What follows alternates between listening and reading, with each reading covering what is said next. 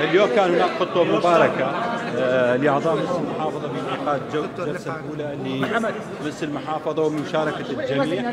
وكذلك آه، نشكر جهود دولة الرئيس الوزراء اللي كان متواصل على طول من أجل انعقاد هذا الجلسة وإنهاء المشاكل اللي كان موجودة، الحقيقة جلسة بادره الخير نحو انعقاد جلسات ال- المجلس بشكل مستمر لحين انتخاب محافظ ورئيس المجلس وباقي الوحدات الإدارية.